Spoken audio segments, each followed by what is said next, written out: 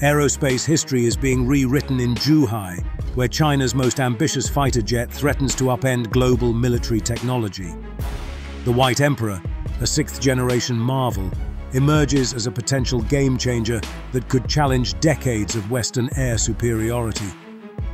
Military analysts are calling this unveiling a watershed moment for China's aerospace capabilities. This isn't just another fighter jet. This is a potential paradigm shift in aerial warfare, warns defense expert Dr. Richard Chen, highlighting the extraordinary technological leap represented by the White Emperor.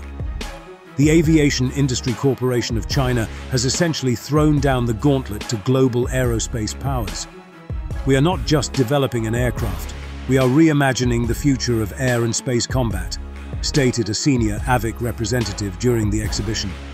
With capabilities that potentially blur the lines between atmospheric and space-based combat, the White Emperor represents a 30% technological advancement over current generation fighters. This quantum leap could fundamentally transform military strategic calculations worldwide. But this is just the start of a complex technological narrative that extends far beyond a single aircraft design. The unveiling represents China's broader ambitions in aerospace innovation and military modernization. The White Emperor's design incorporates revolutionary stealth technologies, with internal missile bays engineered to minimize radar detection. Its landing gear can operate from unprepared runways, providing unprecedented operational flexibility that traditional fighter jets cannot match. Most intriguingly, the aircraft's design suggests potential space operational capabilities, a feature that sets it dramatically apart from current generation fighters. Experts suggest this could represent the first truly integrated space-air combat platform. The global aerospace community is watching closely. While the United States remains the current leader in advanced aircraft technology, the White Emperor signals China's aggressive technological aspirations. The next generation air dominance project in America now faces a formidable challenger.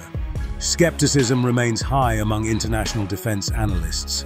Many question whether the displayed mock-up represents actual technological capability or merely an ambitious conceptual demonstration. Technical challenges in engine development and space-based operational systems remain significant hurdles, yet the symbolic importance cannot be understated. Unveiled during the 75th anniversary of the People's Liberation Army Air Force, the White Emperor represents more than just a technological showcase. It symbolizes China's growing confidence and technological ambition on the world stage. Comparative analysis with other sixth-generation programs like the US NGAD, UK's Global Combat Air Programme and European Future Combat Air System reveals the intensifying global competition.